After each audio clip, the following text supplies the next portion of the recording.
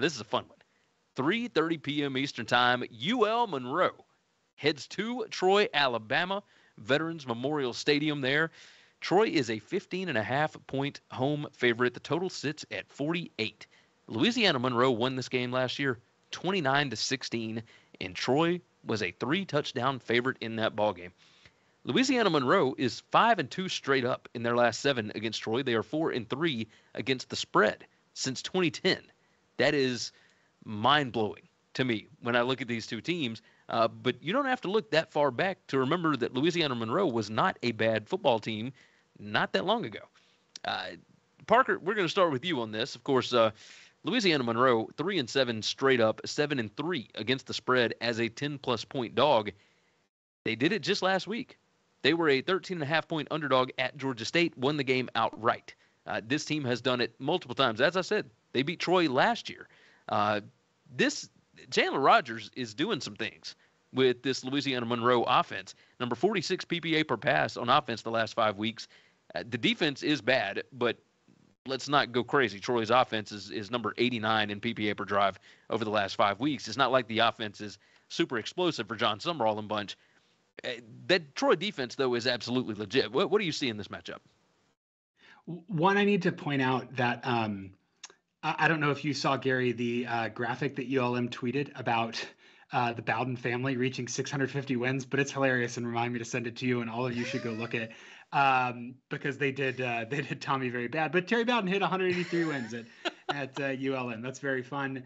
Um, or overall, I guess in his career. Um, this is one of those games that like I'd be tempted to call like a sickos game, but is actually going to be kind of fun. And so I'm interested to see how these teams will match up. I think that Troy is um, really, really good on defense this year. I think this defense is is uh, going to go up against the strength of, of Louisiana Monroe. Louisiana Monroe 60th in offensive EPA per play unadjusted. Troy 43rd.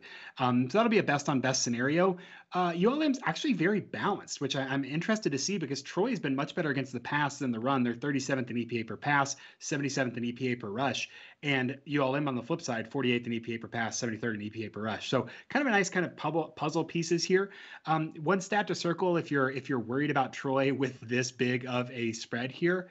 Um, they're 111th on third and fourth down success allowed. Louisiana Monroe's 35th. And so that could match up really well for them to take advantage and extend drives and maybe keep this slow enough um, and keep the total low enough for this game to um, pan out in, in, in Louisiana Monroe's favor.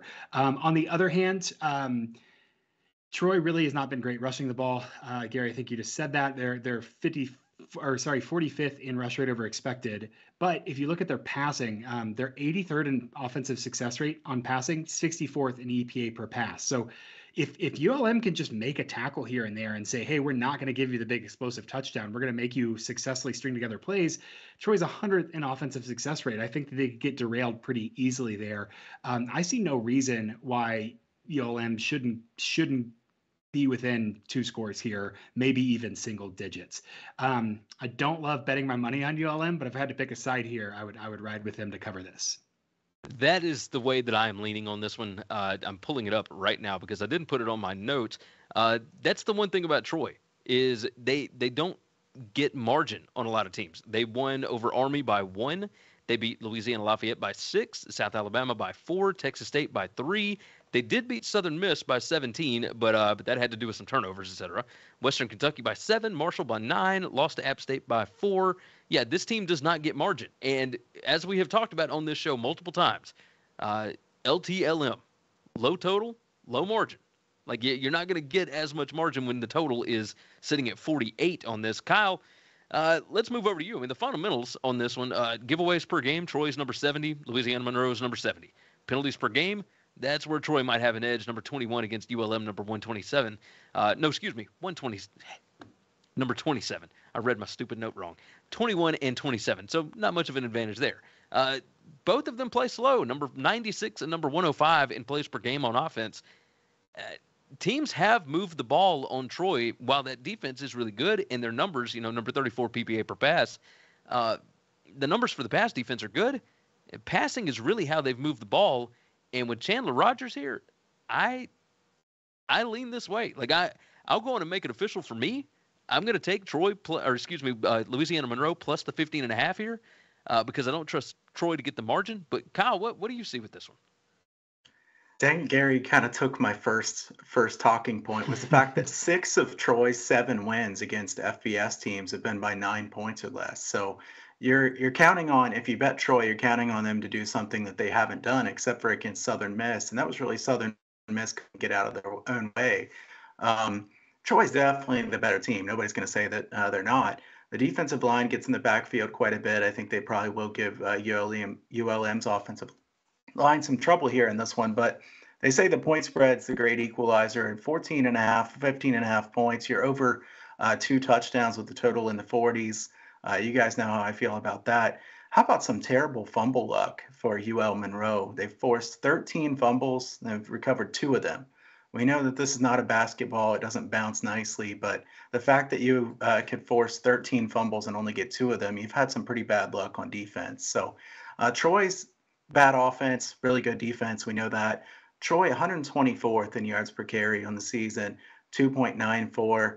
Um, although Troy has been trying to run the ball a lot. I don't know if that's just because they've been in the lead and trying to salt away the game at the end, but 56% of their plays in conference have been running plays. I'm kind of surprised they're running it that much when they're not having success. ULM's defense is 111th in pass, play success rate allowed. So we'll see if Troy does throw it a little bit more here in this game. Troy, uh, 15 touchdowns and 34 trips into the red zone. So they're not efficient when they do get into the red zone, settle for a lot of field goals, or even turn the ball over. Um, Monroe, kind of sneaky competitive team. I mean, they're plus 0.17 yards per play margin in the Sun Belt. A well coached team. Um, Monroe plus the points would definitely be my lean here. There's quite a few points. I, yeah, I'm going to make it official for myself. Louisiana Monroe plus the 15 and a half here. Kyle, I mean, you you hit on all of it. Uh, low, you know, low number of plays. Uh, Troy doesn't get margin on anybody. Like, yeah, uh, uh, while this game is important for Troy for the Sun Belt, uh, which you and I still holding that ticket, hoping either South Alabama loses or Troy just wins out. Uh, yeah, I, I, like Troy to win. I like Louisiana Monroe to keep this thing close. I, I like Raphael's comment on here. He said, "My grandma can score on ULM." that is that is fantastic. That's and it's not wrong. It's not wrong, by the way.